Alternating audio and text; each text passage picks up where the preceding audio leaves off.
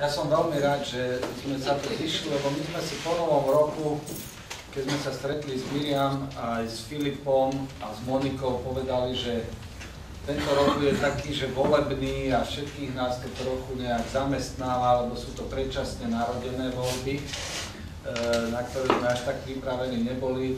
Američania majú voľby tiež tento rok, no a tak sme si povedali, že čo keby sme si vypočuli Davida, ktorého za chvíľu predstavím, že čo robia kresťania Spojených štátoch pred voľbami a potom voľne prípadne, či sa z toho dá inšpirovať, alebo niečo je zaujímavé okolo toho.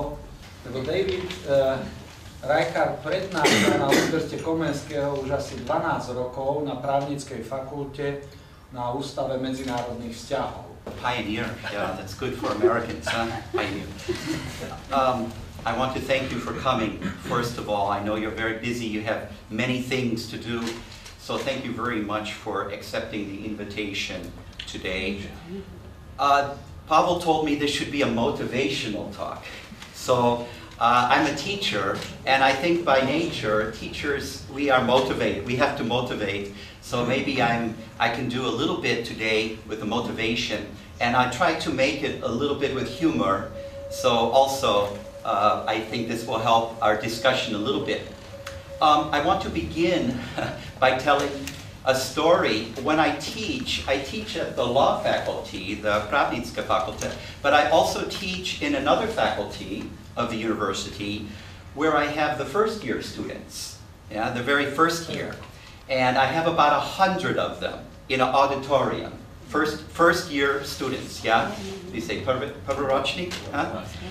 And uh, I noticed over the years that in the first row are usually, uh, mostly they are, are girls.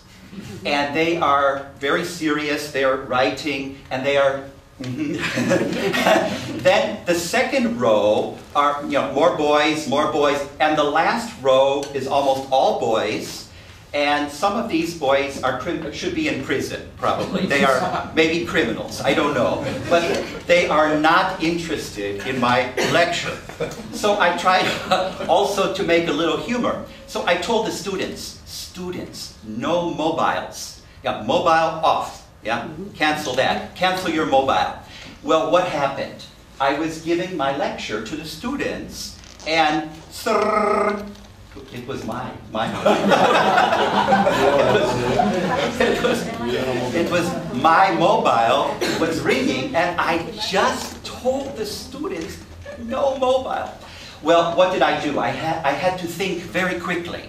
So I picked up my mobile and I said, um, President Obama, uh, Mr. President, don't bother me while I'm giving my talk, Mr. President. Please call me later. and students. so uh, sometimes when you're a teacher, especially of the first year students, you have to think very quickly. Yeah. Um, today, uh, the talk will be, as you can see, about um, the American experience with Christian groups and the elections. So I'd like to begin here with a little bit of background. Um, oh, that's some high tech uh, that I learned. Um, and part one, I will talk a little bit background about historical, cultural, and legal background of Christianity in America. Because I think it's really important to understand this background, to understand today the activity of Christian groups in the United States. I put here uh, Christian immigration to America. Early uh, groups, uh, Christian groups and denominations that came to the United States, and as you can see, some of the later ones. And I put this also in uh, Slovenčina here, I think, uh, here. So you can see some of the earlier groups that uh, initially were coming to the shores of the United, well, what becomes the United States, and of course some of the later groups. Just a, a few of them, just a very few, to give you some idea.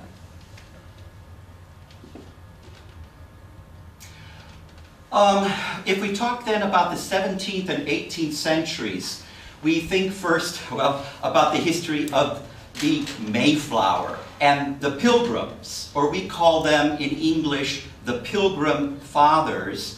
They were actually uh, Puritans. They were a sect of Puritans.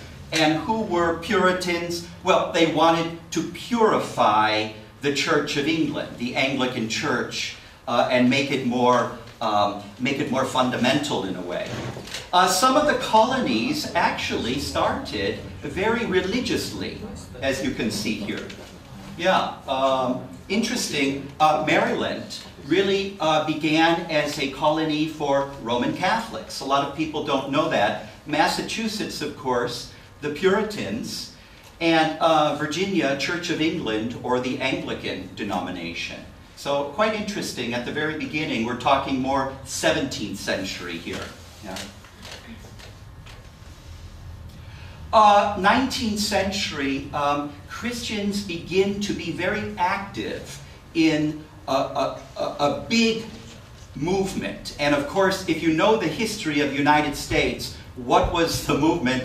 Big, uh, big focus, emphasis, uh, abolition abolition movement, okay, anti-slavery movement. And that begins to mobilize many Christians uh, for this project. And of course, uh, with the Civil War, it finally is successful.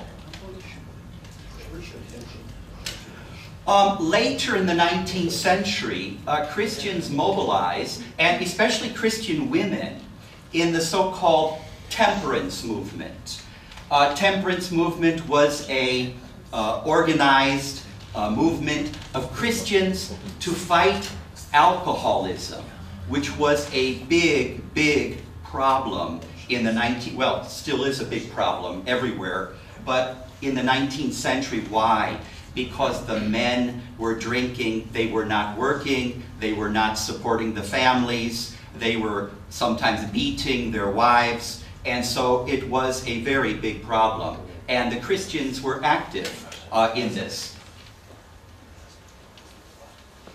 Uh, 20th century, these were some of the Christian activities or projects in the 20th century. As you can see, there uh, child labor and labor laws in general, uh, poverty, social welfare uh, topics, and uh, disarmament and pacifism, which becomes very important during and after the First World War.